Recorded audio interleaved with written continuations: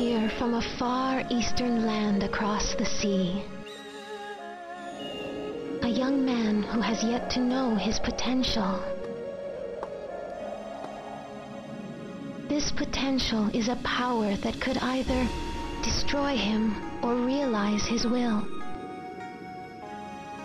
His courage shall determine his fate. The path he must traverse fraught with adversity, I await whilst praying. For this destiny predetermined since ancient times. A pitch black night unfolds with the morning star as its only light. And thus the saga begins.